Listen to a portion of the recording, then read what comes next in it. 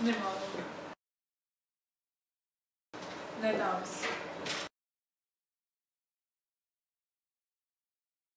E, nešto što mora raditi. Pa zavisi kako koja knjiga, ali većinom naporno.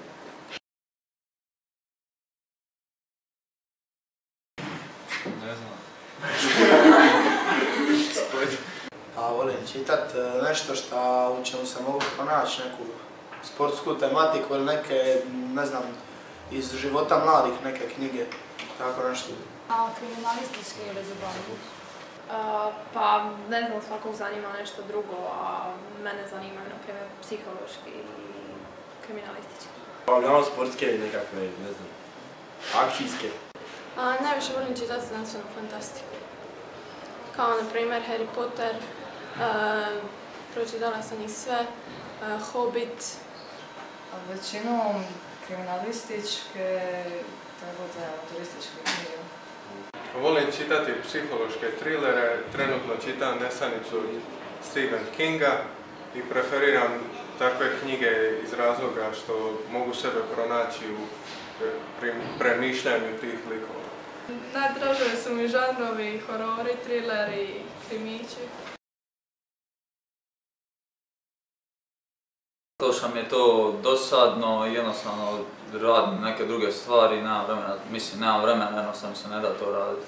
Ne volim čitat zato što knjige su predosadne, e, nemam volje za to čitati, izgubim se u, u tim slovima i sve. Zato što mi je tematika zanimljivija kod stranih, a, općenito tematika, priče, a, način obrađivanja. Jesam nedavno kad mi je razrednica dala knjigu, ta mi se knjiga i svidjela i pročita sam Metastazu.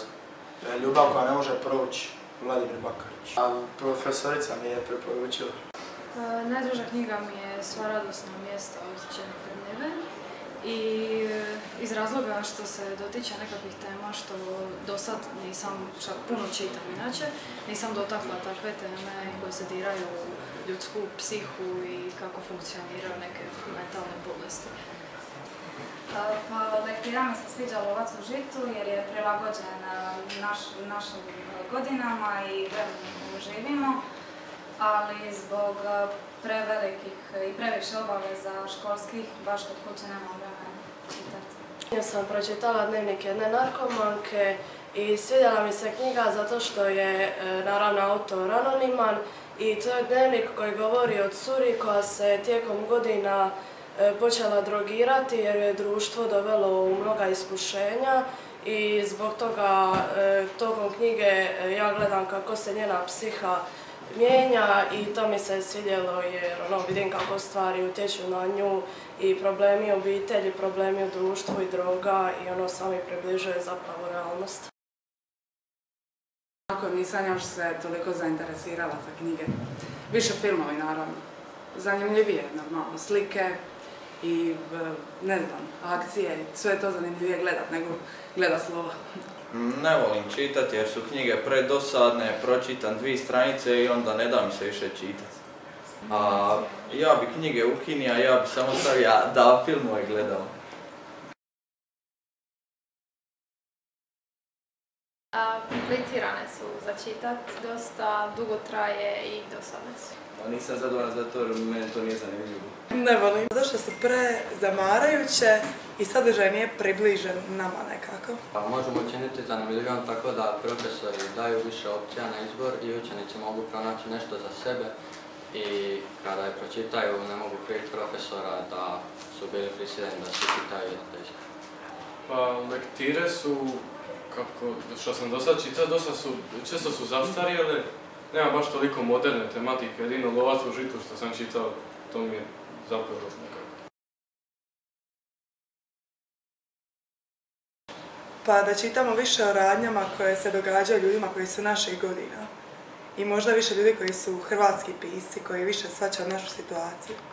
Pa, možda neki ro- moderni romani koji govore o današnjem svijetu i što se sve događa danas. Da se možda obrađuju na neki drugčiji način, da nije toliko zadataka kada se obrađuje lektira, nego više razgovor.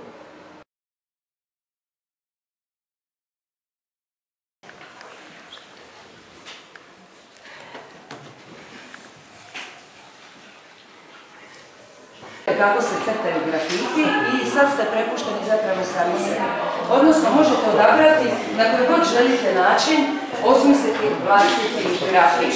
Je zadatak da jedna osoba lijepi i na način na koji odabere pročita taj tekst, a druga da pritom snima.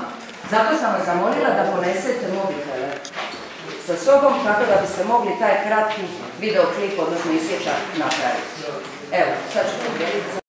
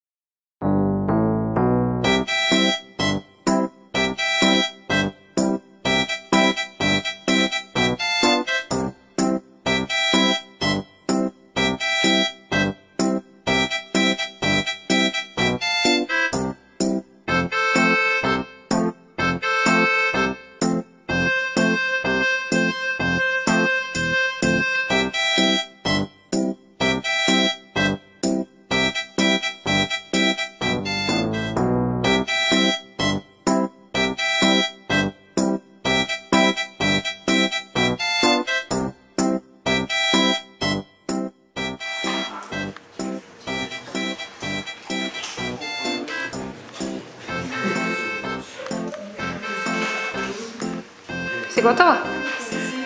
Da vidimo.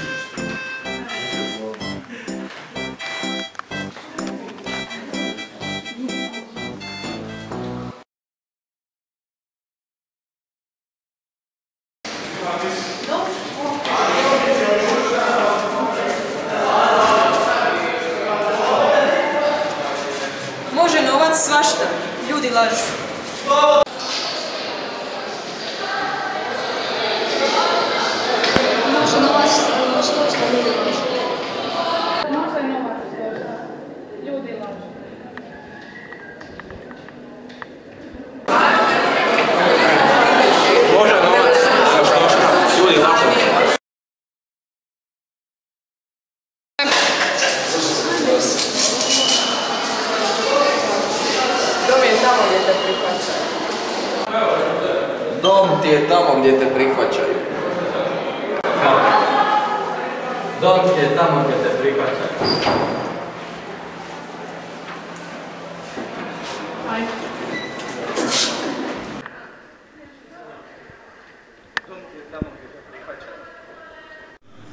Dom ti je tamo gdje te prihvaćaju.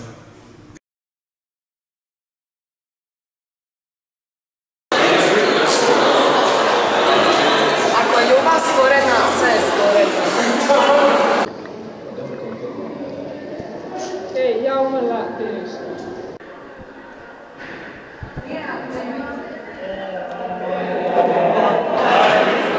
Ljubav smo skratili na mrtv, a smrt na šip.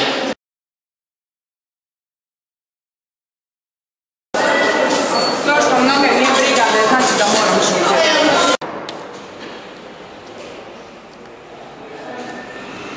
Ljudi ovdje reagiraju samo na nogomet. Ponekad soka sliku čini realno i štiti nas donekle od ludila. Tako puno ega, tako malo dostojanstva u ovome svijetu. Puno ljudi od umjetnosti očekuje neistinu. Što je budali jedna ili milijun glava?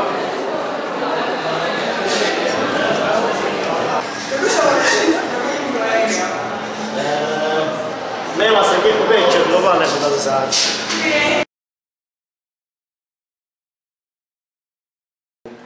Kako ste se osjećali dok ste lijepili parole po školi? Buntovno. Upravo na to sam smjerala. Još nekako. Je li vas bilo sra- sram? Je li vam bilo neugodno? Malo, reci Mara. Lupao. Lupao, možeš li mi objasniti? Zašto je bilo lupao?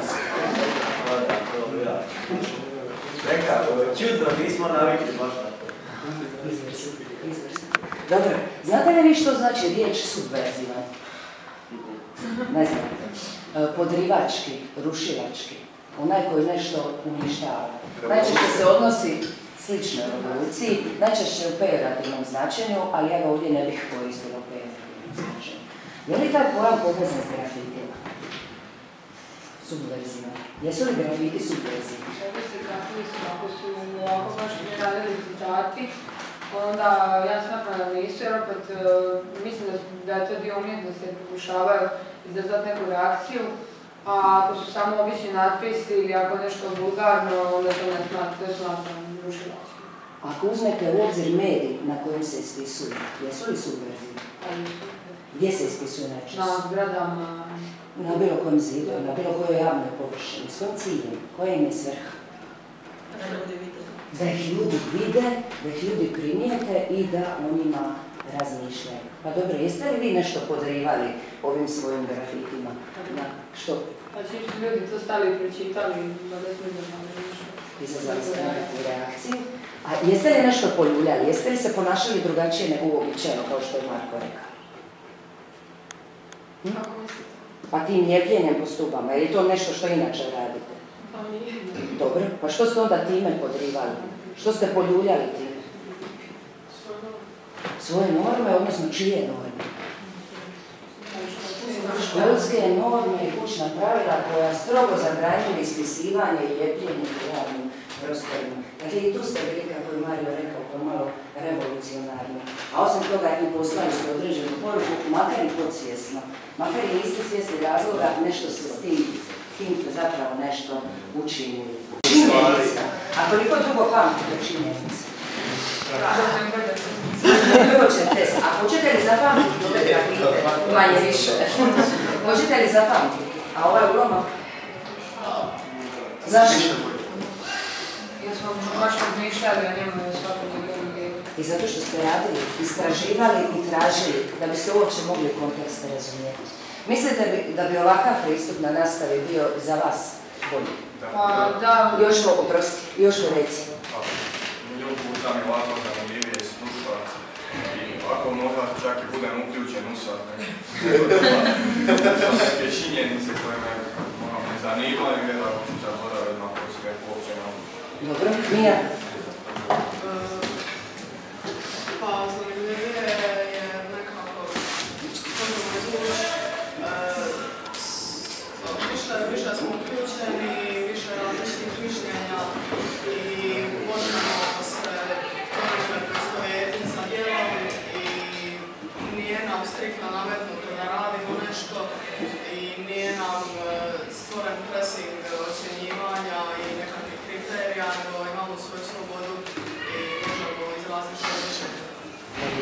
Ima li netko ko smatra da je ovo promašeno? Da je ova radionica potpuno promašena? Izvolite. Anđela, je tako? Nije, da, nije promašena, ali je više za ovakve osobe koje su voljne podijeliti svoje mišljenje, jer e, jedno 70% razreda, m, barem moga, e, ne bi podijelilo svoje mišljenje, nego im je lakše da profesorica njima izdiktira što oni trebaju zapisati. Znači, ono, na normalnom satu vam je sve ponuđeno. Znači, trebate naučiti to što sam ja izdiktirala i to je to. Ovako mi sami razmišljamo i baš ono moram upotrijebiti mozak. Je li ovo onda teže ili lakše? Teže, pogotovo za ljude. Pa, lakše je nama koji možemo pričati, ali ljudima koji nekako ne mogu izraziti svoje mišljenje je teže, ali opet mislim da je korisnije, jer je bitnije znati izraziti svoje mišljenje, pogotovo o nekakvom dijelu, jer svi imamo mišljenje, nije neko, niko nije mrtav vlada na neko dijelo, makar to dijelo bilo, ne sviđa mi se. Ovaj, e, samo da zapravo mislim da se na ovaj način više razvija ta neka debata i ta neka mogućnost argumentacije koja nam je bitna kasnije u svakom pogledu života. Je li čitalačka pismenost bolja nakon ovakve radionice ili nakon klasičnog sata? Zašto? Kreativnije, vi ste recimo ko baš ispitate lektiru, gdje je bolji udaljivije nego kad slušamo o nekom, tamo, ono umre. Nikad ne slušaš o nekom tamo, samo čitamo tekst. Dobro, ajde, hvala. U svakom slučaju bili ste divni, hvala vam što ste surađivali i uživali.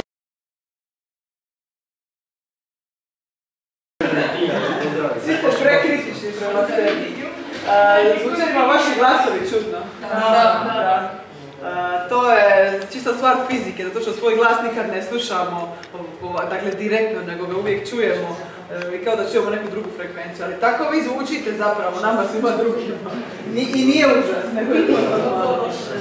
Dobro, Magdalena. Je li vaše mišljenje ostalo isto? Da. Dakle, je li se išta promijenilo ovim projektom? Što mislite čemu je služio ovaj projekt? Prvenstveno. Forsira da više čitam. Da se snima. Forsira da više čitati. Ne, Potakne. Dobro. To je malo bolje. Zvuči malo bolje. Da potakne ove, da promijene nešto u sustavu. Koga počinite? Ono u Zagrebu. Ne želim postaviti provokativno pitanje, ali ja sam ovaj razlog shvatila na način neuputan nam učenica nego vama profesorima, jer mi ne možemo promijeniti sustav, promijeniti ga jedino možete vi. I onaj onoma što smo čitali je nešto što nam možete čuti na svakoj kavi između pet ljudi u Splitu, ali ono nikad neće biti lektivno djelo, niti ćemo ga učiti kao jedan od ulomaka. Smatram da je svaka lektira dobra lektira ako smo dovoljno razvijeni da je pročitamo, ali u trećem srednjem se zločini kazna ne može čitati, moje mišljenje, i razlog se više za profesora nego za učenike. Što vi ostali mislite o tome? Jeste li ovo shvatili kao projekt koji bi trebao nama profesorima reći nešto o našem načinu rada i izboru lektira ili vama učenicima? Sjetite se da ste na početku rekli većinom u ovom predintervju da niste čuli za mnoge hrvatske pisce. Kad ste govorili o tome da volite kriminalistiku, horore, psihološke trilere, pitala sam vas volite li više strane ili hrvatske autore. Skoro ste svi rekli strane. Jeste li čuli prije za Olgu Savičević Pa kakav je vaš bio dojam o dijelu nakon što je profesorica Ljubav to pročitala onaj momak? Pa bilo je zanimljivo zato što nam je tema bila približena i mogli smo se nekako shvatiti u toj temi, lakše začitati nego neke komplicirane knjige koje dobivamo za lektiru i e, što se tiče toga, e, vidjela sam da ima i hrvatskih pisaca i ono svidjelo mi se kako žena piše, ali ono, znam da to nikad neće biti lektira. Je li te to možda ponukalo da uzmeš tu knjigu u slobodno vrijeme i pročitaš? Da, Na- Da nekako na taj način ovaj projekt možda na vas Da, utjecao? je, potjecao i na nas i na nastavnike, normalno, ali na cijeli taj program lektira i toga mi ćemo uvijek imati te dosadne knjige koje ćemo morati pročitati, A, Nismo da baš sve dosadne. Pa ima ih Jesu. par, ono, koje nisu, da mi dobivamo nešto nama približeno, sigurno bi više ljudi zavolilo čitanje. Reci. Ja mislim da je, da je grafiti, a on četiri, ovo je četvrta godina u školi i grafiti, ti 45 minuta da rade grafite, to je stvarno osvjetlalo moje mišljenje o ovoj školi, ali grafit 45 minuti koji je tri dana stan na zidu, u mene je pobudio samo gnjev, pogotovo poruke e, tipa skratili smo ljubav na vrt, e, smrt na rip ili novac možeš svašta ljudi lažu. To mi je najdraži grafit zato što je to stvarno istina, ali mislim da se s ovim treba potakniti pogotovo mlađe u prvom srednje da shvate da je škola zapravo mjesto gdje se najviše možemo izražavati i da u školi trebamo raditi greške jer nećemo više imati vremena za napraviti te greške. A u četvrtom srednje kad vidite takve poruke se samo ljuti što niste mlađi i što trebate i za čitanje, za rađenje grafita i čitanje ulomka koji neće biti maturalno djelo je čisto gubljenje vremena, pogotovo trenutno. Recite mi, e, da se pojavi nekakav ovakav sličan projekt Erasmusa u školi, biste li se vi dobrovoljno prijavili ponovo na Da. E, Tko od vas bi, dakle dignite ruke čisto da vidimo nekako okvirno koliko to ljudi bi. Vi da me ne snima kamera u Dakle, drugi put imate neke svoje, hvala vam, imate neke svoje uvjete. E, zašto bi se vi prijavili ponovo na ovakav projekt?